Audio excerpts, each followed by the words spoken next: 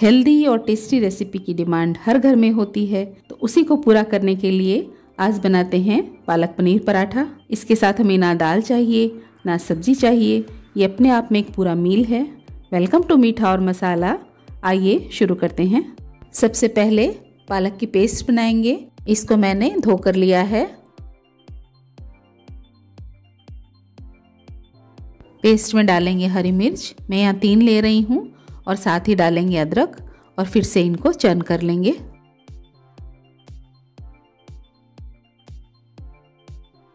अब पराठे के लिए बनाएँगे डो, लेंगे दो कप आटा,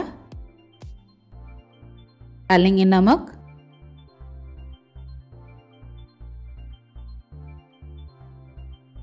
अब डालेंगे दो चम्मच घी। आप चाहें तो तेल भी डाल सकते हैं। घी को अच्छा मिक्स करके आटे को दो हिस्सों में डिवाइड कर लेंगे।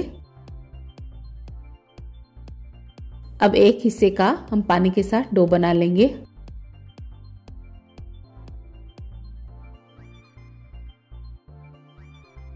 अब दूसरा डो भी बना लेंगे पालक के पेस्ट के साथ। दोनों ही डो की कंसिस्टेंसी सेम होनी चाहिए।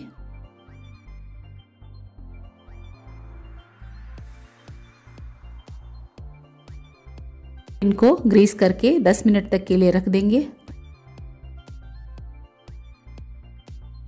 अब इनके पेड़े बना लेंगे।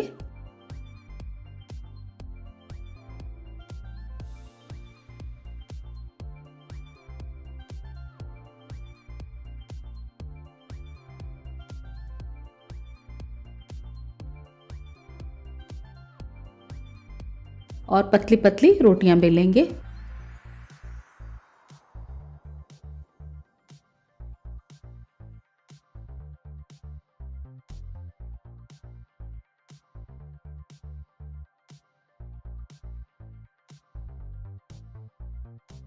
थोड़ा थोड़ा सूखा आटा स्प्रिंकल करके रोटियों को रखते जाएँगे, ताकि ये एक दूसरे पर चिपके नहीं।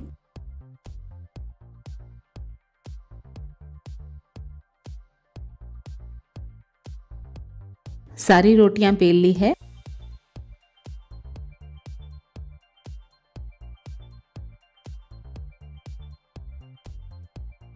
थोड़ा थोड़ा सा घी लगा देंगे। और थोड़ा सा आटा स्प्रिंकल कर देंगे। अब इनको एक हरी और एक सफ़ेद इस तरह से स्टैक कर लेंगे।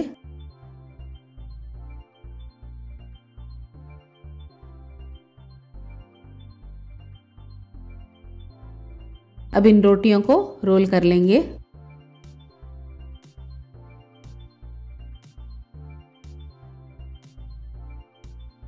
अब इनको काट लेंगे।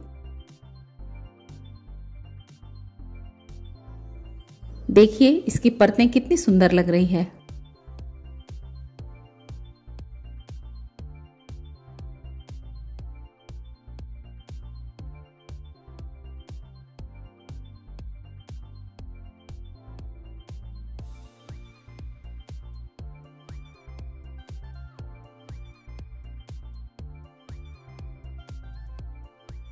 आप चाहें तो इसे ऐसे भी सेक कर खा सकते हैं।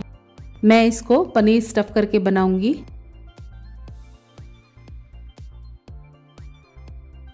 रोटी के एक हिस्से पर बटर लगा लेंगे और पनीर को ग्रेट कर लेंगे।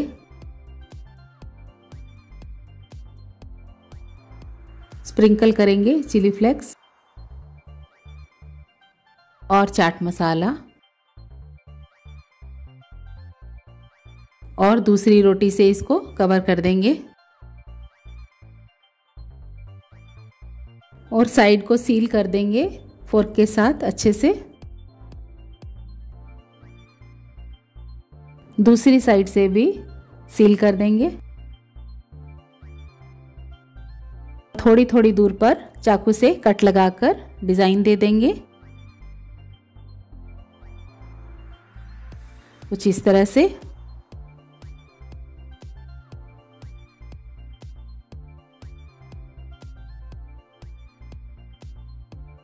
पहले दोनों तरफ़ से ऐसे ही सेक लेंगे।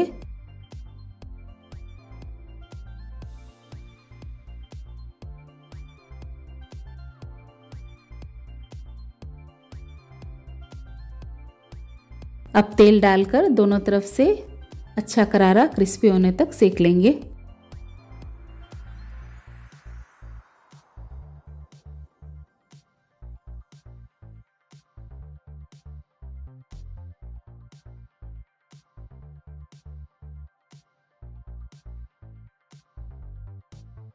हमारा क्रिस्पी पालक पनीर पराठा तैयार है।